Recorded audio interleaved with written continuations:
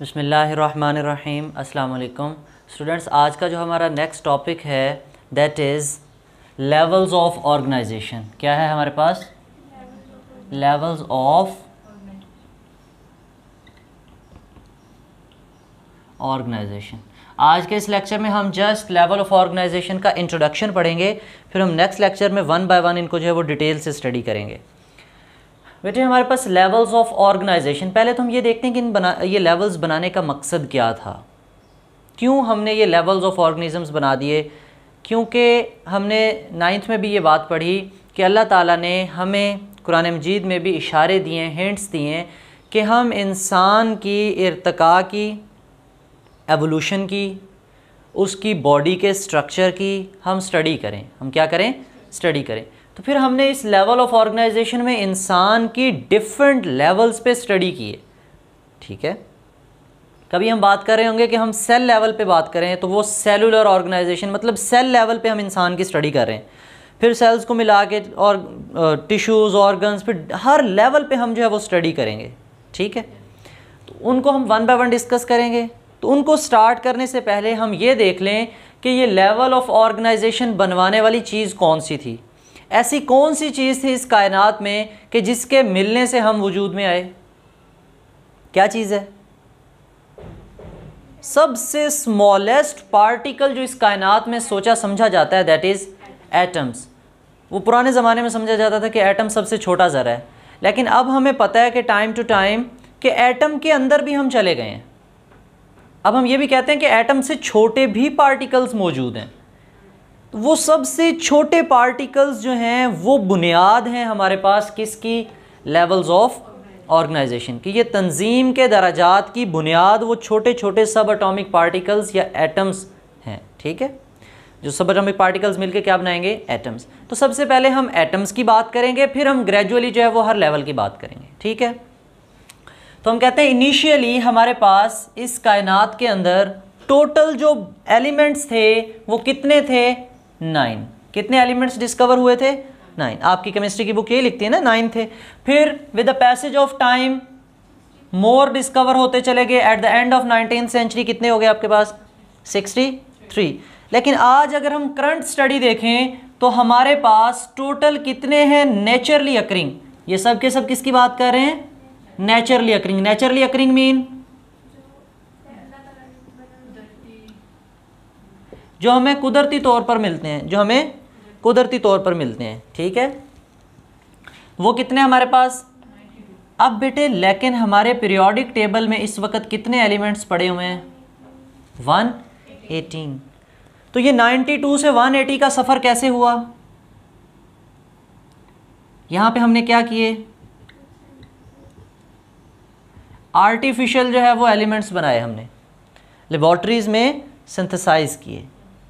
तो आज अगर हम करंट बात करें तो टोटल हमारे पास 118 एलिमेंट्स हैं। Out of 118 19 are called naturally occurring elements. 19 कितने हैं? अब ज़रा सोचने की बात और हैरान होने की बात है ये बेटे, कि हमारे पास टोटल कुल मिला के 92 एलिमेंट्स हैं। कितने एलिमेंट्स हैं? 92 एलिमेंट्स हैं जो नेचर में पाए जाते हैं।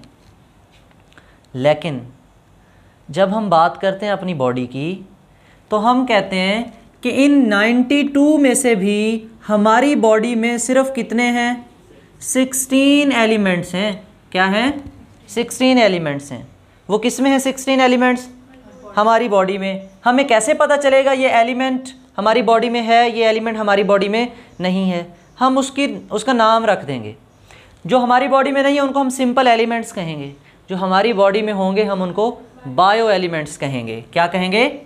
These are actually bio elements आपसे कोई पूछे what is the difference between elements and bio elements elements की तो डेफिनेशन आप सिंपल केमिस्ट्री वाली बता दोगे। लेकिन जब हम बायो एलिमेंट्स की बात करेंगे, हम कहेंगे द एलिमेंट्स वो elements that make the body mass of living organism that make the body of living organism ऐसे एलिमेंट्स जो क्या करें मेक करें, बनाएँ, किसको बनाएँ? Body of living organism. ज़िंदा जानदारों की बॉडी बनाएँ तो उन जानदारों को हम सॉरी उन एलिमेंट्स को हम कहते हैं दीज आर बायो एलिमेंट्स वो कहते हैं, हैरान होने की बात यह है कि सिर्फ़ कितने एलिमेंट्स आपकी बॉडी में हैं? सिक्सटीन लेकिन इन सिक्सटीन की वजह से वो कहता है, आपकी बॉडी में हंड्रेड्स ऑफ़ केमिकल रिएक्शन हो रहे हैं। कैसे हो रहे हैं? हंड्रेड्स ऑफ़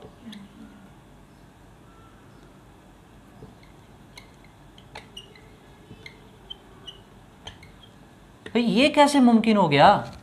आपकी बॉडी में एलिमेंट्स तो कुल मिला के सोलह लेकिन रिएक्शंस कितने हो रहे हैं? सैकड़ों रिएक्शंस हो रहे हैं आपकी बॉडी में। ठीक है? ये कितनी सिंपल सी बात थी कि 16 है। और जब हम बात करते हैं hundreds of chemical reaction it's mean ये बहुत क्या हो गए? कॉम्प्लेक्स हो गए। ये क्या हो गए? बहुत से कॉम्प्लेक्स इसका मतलब ये हुआ, यहाँ से हमारे दिमाग में आइडिया आया कि यार ये एलिमेंट्स एज सच अकेले अकेले हमारी बॉडी में नहीं है। ऐसे अकेले अकेले हमारी बॉडी में, इन्होंने मिल के कोई चीज़ें बनाई हैं। एलिमेंट एटम्स मिल के क्या बनाते हैं? मॉलिक्यूल्स बनाते हैं। क्या बनाते हैं? इन्होंने मिल के हमारी बॉडी में मॉलिक्यूल्स बनाए हैं। फिर ये सोलह डिफरेंट तरीक़ों से मिले और हमारे पास वैरायटी ऑफ़ मॉलिक्यूल्स बना दिए इन्होंने। हंड्रेड्स ऑफ़ न्यू मॉलिक्यूल्स बना दिए सिर्फ़ कितने? अब ज़रूरी नहीं है ये सिक्सटीन ये हार्ड एंड फास्ट रूल नहीं है। बहुत से ऐसे जानदार हैं जिनमें प्लस माइनस हैं। किसी में एक्स्ट्रा एक दो हैं, किसी में इससे भी कम हैं। वो डिपेंड करता है कि वो ऑर्गेनिज्म की टाइप कौन सी है। ऑर्गेनिज्म की टाइप कौन सी है, ठीक है? तो ये बात सोचने के लिए हमने कि सिर्फ़ 16 बायो एलिमेंट्स हैं यार, और फिर हमारी बॉडी में हंड्रेड्स केमिकल रिएक्शन करवा रहे हैं, ये कैसे पॉसिबल है? 16 है, चलो 16 करवा लेते। चलो 50 करवा लेते ये। चलो 100 करवा रहे लेकिन ये हंड्रेड सैकड़ों करवा रहे हैं, सिर्फ़ एक सौ भी नहीं, कई सौ हैं इसमें, ठीक है? तो ये सिंपल से कॉम्प्लेक्स का सफ़र कैसे मुमकिन हुआ, वो बातें हमने डिस्कस करनी है, ठीक है? अब वो कहेगा कि हमारी बॉडी में भी जो लेवल है, वो सिंपले सिंपलेस्ट से कहाँ जाएगा? कॉम्प्लेक्स की तरफ़। सबसे सादा तरीन लेवल होगा, फिर थोड़ा सा उससे कॉम्प्लेक्स और फिर करते करते सबसे कॉम्प्लेक्स लेवल आ जाएगा, ठीक है? अच्छा वो लेवल पढ़ने से पहले हम ये जो 16 बायो एलिमेंट्स हैं, हम इनकी क्लासिफिकेशन देखते हैं। हम इनकी, हम कहते हैं ये 16 हमारी बॉडी का कितना बनाते हैं? 100 परसेंट ये 16 हमारी बॉडी का कितने परसेंट बनाते हैं? 100 परसेंट ठीक है? बट आउट ऑफ़ 16 इन 16 में से हम कहते हैं कि हमारे पास जो 10 बायो एलिमेंट्स हैं, कितने? वो कितना बनाते हैं? 99 पर, सॉरी, वन परसेंट। कितना बनाते हैं? One percent. और जो इनमें से सिक्स हैं, वो कितने बनाते हैं? Ninety nine percent. ठीक है? असल जो बात हमने डिस्कस करनी है, वो अब इन दोनों की परसेंटेजेस हमने याद करनी है कि कौन से एलिमेंट की कितनी परसेंटेज हमारी बॉडी में पाई जाती है। कितनी परसेंटेज हमारी बॉडी में पाई जाती है। ये सिक्स है तो कितने कितने परसेंट हैं? और ये टेन है तो वन परसेंट अगर टोटल वन है तो इट्स मीन कि ये पॉइंट्स में हो गए ना zero point something zero point zero zero one zero point zero zero two zero point one five two five three five तो इनको हम देखते हैं क्लियर तो बेटे हमारे पास हमने कहा कि टोटल कितने बायो एलिमेंट्स हैं? सिक्सटीन सिक्सटीन में से सिक्स कितने परसेंट बनाते हैं हमारी बॉडी का? नाइन्टी नाइन परसेंट और बाकी कितने हैं? टेन वो जस्ट कितना बनाते हैं हमारी बॉडी का? One percent only one percent ठीक है? अब हम इन क्लासिफिकेशन को देखते हैं कि ये कितने कितने परसेंट कौन सा एलिमेंट है। बेटे हम कहते हैं कि हमारी बॉडी में सबसे ज़्यादा पाया जाने वाला जो एलिमेंट है दैट इज़ ऑक्सीजन कितने परसेंट होता है? सिक्सटी फाइव परसेंट ठीक है? इसके बाद हमारे पास क्या आता है? कार्बन क्या आता है? कार्बन कार्बन बेटे कितने परसेंट होता है हमारी बॉडी में? 18 परसेंट कितने परसेंट होता है? 18 परसेंट उसके बाद हमारी बॉडी में क्या आता है? हाइड्रोजन हाइड्रोजन कितने परसेंट होता है हमारी बॉडी में? जस्ट ओनली 10 परसेंट फिर हाइड्रोजन के बाद आती है हमारी बॉडी में नाइट्रोजन नाइट्रोजन कितने परसेंट होती है? थ्री परसेंट नाइट्रोजन के बाद हमारी बॉडी में कैल्शियम कैल्शियम कितने परसेंट होता है? टू परसेंट और लास्ट में हमारी बॉडी में फॉस्फोरस। कितने परसेंट होती है? One percent. ठीक है? ये परसेंटेज थी हमारे पास सिक्सटीन में से सिर्फ़ सिक्स बायो एलिमेंट्स की। One, two, three, four, five, six. अगर इस परसेंटेज को काउंट करके लिखें तो कितनी बनती है ये? Ninety nine percent. कितने परसेंट रह गई? One percent. तो वन परसेंट जो है, वो कितने बायो एलिमेंट्स बनाते हैं? Ten. One, two, three, four, five, six, seven, eight, nine ten अब हमारी बुक ने परसेंटेजेस लिखी हैं इनकी तो हम भी लिख लेते हैं। हम कहते हैं कि जो हमारी बॉडी में के मीन पोटाशियम के मीन पोटाशियम कितने परसेंट पाया जाता है? Zero point three five percent बेटे, याद रखना, इनमें जितने भी ये जो टेन है ना, ये कोई भी राउंड फिगर में नहीं है, सारे पॉइंट्स में। क्योंकि सबको मिलाएँगे तो कितने परसेंट बनानी है? वन परसेंट इट्स मीन के सब elements less than one percent होंगे। क्या होंगे? सल्फ़र हमारी बॉडी में zero point two five percent. बेटे, अगर आप तरतीब से याद रखोगे ना, यहाँ पे वन डिक्रीज करना है आपने। यहाँ पे वन डिक्रीज करना है। थ्री फाइव, देन अब क्या आना चाहिए? One five. Sodium chloride. जोड़ी को याद रखना है आपने। दोनों की क्या है? Zero point one five percent. ठीक है? अब मज़ीद हम वन कम करेंगे तो कितनी हो जाएगी? Zero point zero five percent. One की बजाय क्या आ गया? ज़ीरो। अब आयरन हमारी बॉडी में कितना है? Zero point zero zero four percent अब वो कहते हैं, ये देखो ज़ीरो पॉइंट ज़ीरो ज़ीरो में चले गए हैं, बहुत छोटी वैल्यू में हम चले गए हैं। तो लिहाजा उसने कॉपर मैगनीज जिंक और आयोडीन की हमारी बॉडी में परसेंटेज नहीं लिखी। लेकिन अगर आप बड़ी बुक्स में पढ़ो, बड़ी क्लासेस में मज़ीद पढ़ोगे तो आपको इनकी भी ट्रेसिस में zero point zero zero one zero point zero zero two ऐसे परसेंटेज मिलेगी।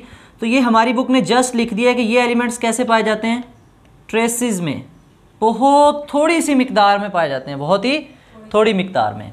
पोटाशियम कितने percent sulphur chlorine sodium magnesium iron then copper manganese zinc and iodine किस कितने हैं?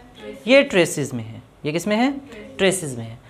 अब इन एलिमेंट्स को मद्देनज़र रखते हुए हमारी बॉडी में क्या बनेंगे? लेवल्स ऑफ़ ऑर्गेनाइजेशन अब हम कहते हैं कि जो सबसे सिंपलेस्ट हमारी बॉडी में लेवल होगा, सबसे सिंपलेस्ट लेवल होगा, वो कौन सा है? सब अटोमिक लेवल क्या बेटे इलेक्ट्रॉन अकेला एग्जिस्ट कर सकता है? नहीं, वो अपने घर में रहेगा। उसका घर कौन है? एटम उसका घर कौन है? एटम इसका मतलब जब हम सब अटोमिक बोलेंगे तो साथ में किसको भी बोलेंगे? अटोमिक को भी। तो sub atomic and atomic level sub atomic and atomic level हम कहते हैं this is the basic level of the organisation सबसे बुनियादी, सबसे सिंपल सबसे छोटा level that is atomic level sub atomic and atomic level फिर जैसे जैसे हम प्रोग्रेस करेंगे, आगे जाएँगे तो हमारे पास ये सिंपल से किस तरफ़ जाते जाएँगे? कॉम्प्लेक्स सिंपल से किस तरफ़ जाएँगे?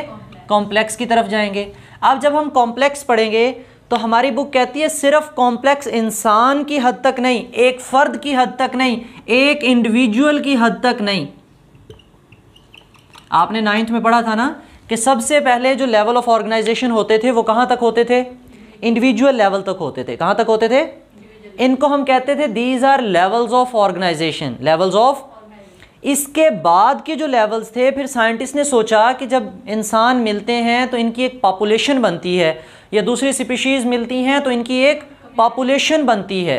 जब पॉपुलेशंस मिलेंगी तो कम्युनिटी बनेगी। कम्युनिटीज़ मिलेंगे तो बायोस्फीयर बनेगा।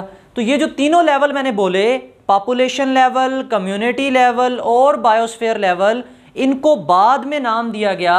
These are ecological level of organisation या ecological organisation these are the levels of ecological organisation ये बात समझ में आई?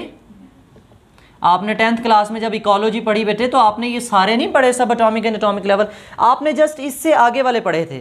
क्योंकि इकोलॉजी में इकोलॉजिकल ऑर्गेनाइजेशन स्टडी करनी है तो उसमें कौन कौन से लेवल पार्टिसिपेट करते हैं?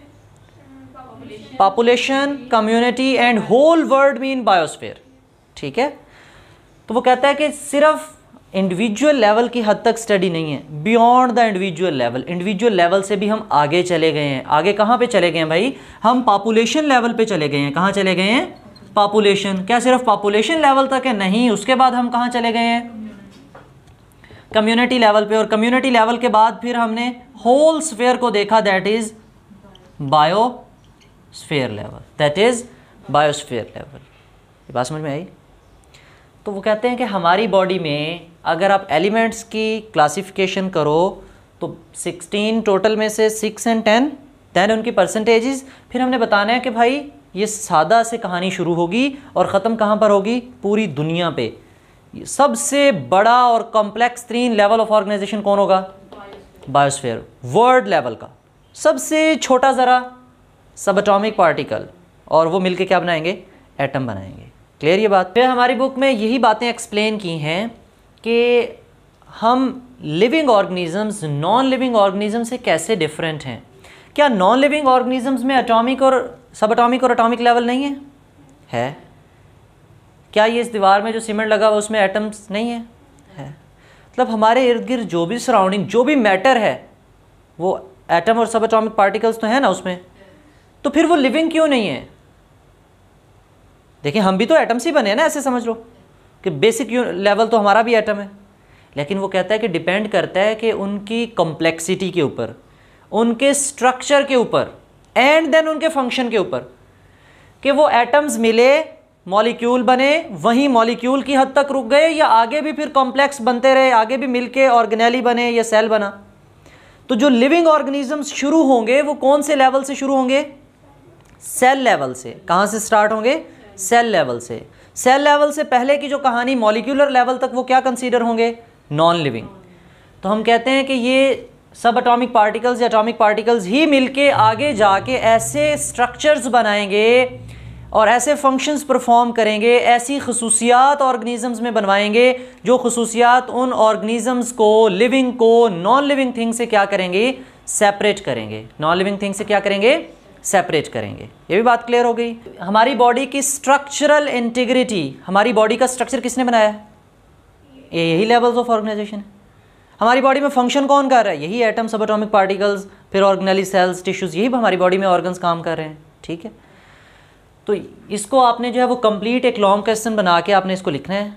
क्लियर और ये परसेंटेजेस एम के हवाले से इंपॉर्टेंट हैं एम कैट के हवाले से भी इन्हीं परसेंटेजेस में से कोई परसेंटेज आपसे पूछ ली जाती है। जी अगर आपका कोई क्वेश्चन है तो आप कमेंट सेक्शन में पूछ सकते हो। थैंक यू अल्लाह हाफिज़.